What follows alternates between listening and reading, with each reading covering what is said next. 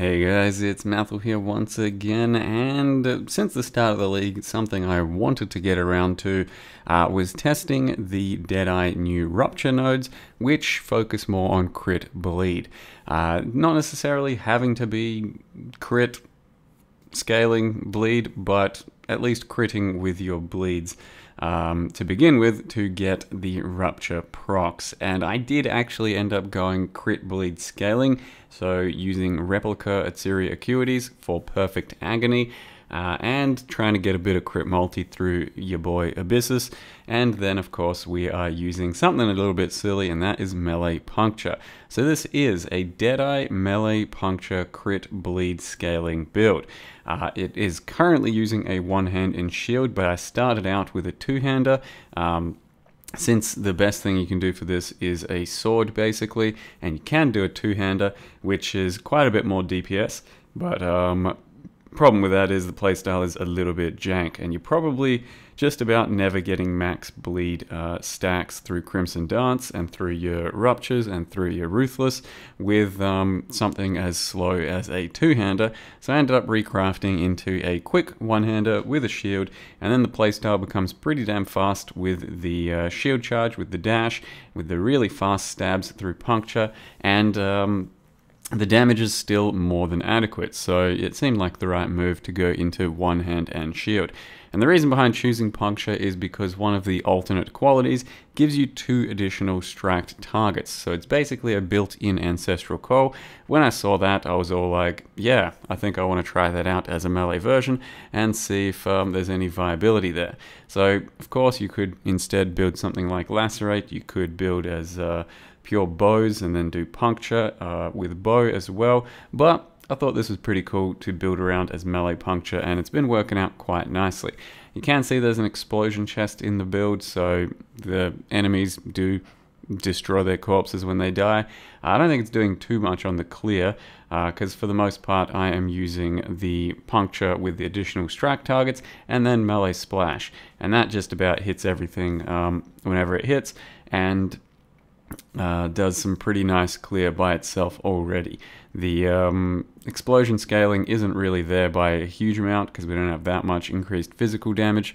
Uh, it's mostly like crit and crit bleed and crit bleed ailment, stuff like that. So the explosions really, I don't think, are hard carrying. But we do have an additional curse on the chest as well. So it is currently using vulnerability and poacher's mark because Deadeye does not have much um, in the way of an ascendancy for uh, ascendancy options for things like this. So basically you are forced to take the rupture nodes, you are forced to then take the mark nodes, and thus we have a slightly more powerful poacher's mark, and then you are forced to take the gale force nodes that give you um, 10, 10 stacks of gale force and 3% less damage taken per stack. So ultimately that generates 30% less damage, so even with Abyssus up, that means that um, usually when we have 10 stacks of our Gale Force, we're pretty resilient to the first hit that's going to come our way. And um, that comboed with Wind Dancer especially means that you can actually be pretty tanky. So there isn't too many deaths going around on this character, uh, even though you would kind of expect it to be since Abyssus. Um, but it has actually really highlighted the strength of that little Gale Force node to me uh, because it's super potent in some of these first big hits like that metamorph there with the slam on the tier 15 16 map with some damage mods and metamorph stuff. Pretty powerful stuff and through an abyssus and yet we still did not die. So something to look into but uh, it is kind of hard to get 10 stacks up always. As you can see, we do have a spell slinger on left click, and that is linked to nothing, so it's just a spell slinger.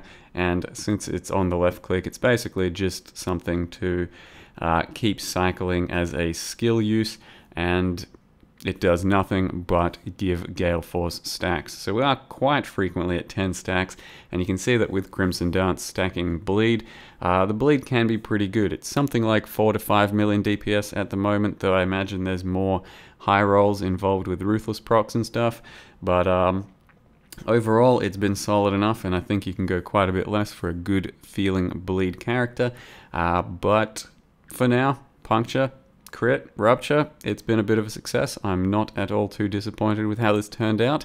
Uh, don't have any more endgame to show you at the moment though. Just another little boss fight, and it's a pretty active playstyle as you can see with the dodging and all of that. So let me show you how I built the character. So here is my little character, uh, level 91, bleeding viewers by the day. Anyway, it's not at its strongest right now on Twitch, and uh, you know, with the whole harvest yeah, we're not too popular. Anyway, um, level 91, Deadeye. So we are based around the Puncture Gem. As I said, Divergent Puncture, alt quality, melee strikes target two additional nearby enemies. So that's just a built-in ancestral call, and that was the entire inspiration behind a melee Deadeye. But the entire reason we wanted to do a Deadeye is for these new nodes, rupturing, critical strikes which inflict bleeding also inflict rupture. That is, ruptured targets take 25% more damage from bleeding, and bleeding on them expires 25% more quickly for 3 seconds. Up to 3 ruptures can affect a target. So part of that is also the fact that we wanted our um, bleeds to be pretty long term, and puncture has 8 second default bleeds. So then with um, a bit of extra duration from certain sources, it's still a very lengthy bleed and we can still get pretty good usage out of Crimson Dance as well uh, since you have to stack up a lot more of your bleeds. And that means that it's harder to do if they're expiring really quickly. Uh, so we have that. Um, and then on top of that, just a stronger mark in the form of Poacher's Mark, uh, which is coming from a ring over here, and then going into Gathering Winds and Wind Ward, which is a whole bunch of defensiveness and speed. Uh, we do then have Crimson Dance. I'm currently specking into these nodes, as you can see. Um, we use replica Atziri Acuities because they have perfect agony if we've dealt a crit recently, and then that means we don't have to path up to grab perfect agony up here, which I don't know, maybe it's worth saving the points for the gloves. They're just an interesting, interesting use of a replica that I figured I'd shoehorn into the build one way or the other. Uh, otherwise, Passive Tree has taken me a good bit of um, staring to figure out for optimization. I'm still not completely sure it is. I really would have loved to have taken Acro and Phase Acro, so I was originally going more crit heavy down this side, but uh, crit scaling and crit multi-scaling really hardly adds shit. So let's say I've got 4 million DPS right now. Um, thanks to Perfect Agony and um, you know Abyssus and all that extra crit multi. If I don't have perfect agony, I've got, let's say, like 3.5 million DPS. Like it's a fairly negligible increase considering these like nodes over here are a similar sort of gain. Um, otherwise, yeah, we are doing two clusters, two large, two medium, um, and four small. So the large are pretty negligible. Uh, at this point, um, Fuel the Fight doesn't do anything for me because I've already got Mana Leech somewhere else um, over here. Uh, wound aggravation is a pretty good node, and then martial prowess, just good for accuracy. But the main draw is the fact that we get to use medium clusters, and the medium clusters we're trying to go for in a perfect world are hemorrhage, so crit, and then crit multi, um, sorry, damage over time with crits, um, ailments from crits, and then rend, so that's bleed duration and damage over time with bleed. Uh, just so we can get a few of these to counteract what Rupture is doing. But then um, crafting these is fairly simple. You just get lots of different types of good variations. There's a lot of good results. So then we have hemorrhage and wound aggravation here. And over here we have um, wound aggravation rend. And over here is rend and hemorrhage. And then just whatever life clusters you really feel like. Um, and that's about it for the passive tree. Also wind dancer just for some defensiveness. Uh, so I end up crafting a sword, basically started out with just attack speed and um, bleed 100% more. So the 100% more bleed thing is basically the most important mod on these types of swords. And uh, I did craft a couple of two-handers to begin with. So this is what a two-hander looks like. Uh, which has you know quite a bit more base phys, but it's quite a bit slower. We can still finish it off to get it some attack speed, and still going to be like 30% slower in the end and also pretty hard to fill out life on the build without a thick shield. So uh, keep that in mind if you want to try the two-hand side of things. It will be bigger DPS, but it will be a little bit clumsier. Um, basically just did like some alt regal spamming for these until I got some good things. I started out with the attack speed and crit um, bleed mod. I then imprinted a lot until something happened, but uh, could have obviously gone bigger if we wanted to. Um, and then uh, finished it off with a multi-mod, uh, so the Phys and the Phys, and then did a non-attack into attack uh, to get rid of the multi-mod um, from Harvest and ended up hitting life gain on hit. So we can still remove life and slam on crit and make it a much nicer sword, but at the moment, that's what we've got. Uh, the chest itself, it's a reuse from previous build, so Awakener Orb, both Explode and Additional Curse. Uh, the Explode and then just everything else on top of it is pretty easily harvest craftable. Uh, we can still get attack crit instead of, let's say, one of the resists, but didn't have that option available to me yet, so the attack crit is a little low there.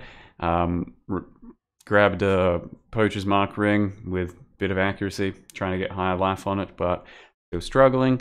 Um, a vulnerability base ring, though you can obviously just craft one with vulnerability. And then it's just got some resists on it, which um, aren't doing that much because I originally budgeted for something like the sword with this type of resist shit, but then when I got another shield on, resist became a lot easier to cap. Uh, this shield just, I think, pristine fossil spammed or harvest life spammed, I can't remember. Uh, just three life mods in the end. Pretty simple to do with um, all that type of um, fossil or harvesting, and then you can add life, remove life, whatever. Put on aspect of the spider as well, because um, I want um, an aspect of the spider to slow things and make them take increased damage. Got the Abyssus, puncture damage, melee crit multi, bunch of phys. So phys on the sword to begin with really isn't that important because we get a lot from Abyssus, we get a lot from puncture, and then um, just various other little sources too. Uh, Zero Acuity, using Ryslatha's Coil, it's going to give us slightly more high rolls, but sometimes some low rolls. And then um, my elusive boots that I used from a previous character as well. Also using Ungil's Harmony, so a bunch of extra crit from this amulet. Uh, which means that we'll have much smoother crit chance for our ruptures and our uh, perfect agony dots. Your critical strikes do not deal extra damage, doesn't really matter because uh, it doesn't affect the bleed portion of it through perfect agony. I don't think so anyway. Fuck me if I'm wrong, right?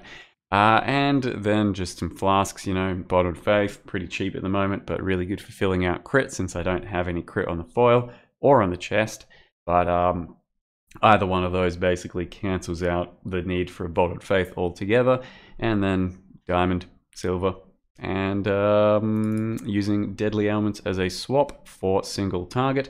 Because currently we're using puncture, um, vicious proj, which funnily enough works for the melee portion of puncture as well, since puncture is a projectile, melee, whatever, physical bow. Apparently this works as well, so why the hell not use it? Uh, you get a big multiplier there using multi-strike for faster applications and playstyle, brutality, melee splash, in this case I've got divergent, which just um, means that you do more damage to the uh, splashed enemies, but an awakened is probably better just for area, I'd say. I haven't tested it out, but I stuck to this one right from um, early levels. And then uh, Ruthless over here. But for um, single target, take out melee splash, put in deadly ailments, and we've got billions of bleed DPS. It's something like 4 or 5 million, so it's not the biggest, but it is a very fast playstyle, and it does give us a very nice um, sort of stacking of the bleed. And lastly, if you want to know what the MTX are, which, I don't know, just some set I put together, uh, nothing too special, got yourself Thaumaturgy, uh, Despair, some sort of gloves, boots, Malice Weapon, Celestial Shield, Demonic Weapon Effect, and Thaumaturgy cloak, because that is a cloak apparently. So um, yeah, an attempt at bleed puncture. We gave it a shot. Here it's where we are. Um, it's not too bad. Uh, would I recommend copying it? I don't know.